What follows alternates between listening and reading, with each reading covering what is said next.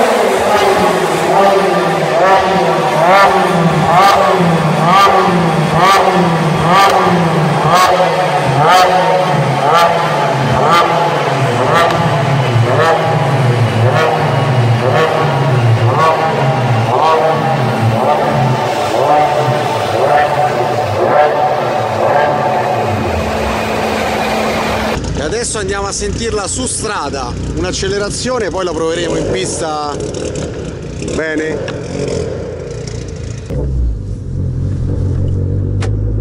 Siamo a bordo di una delle 500 più potenti d'Italia, forse, forse la più potente.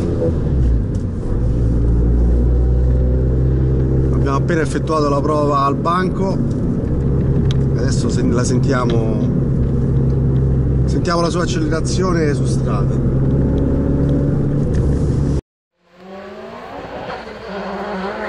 Thank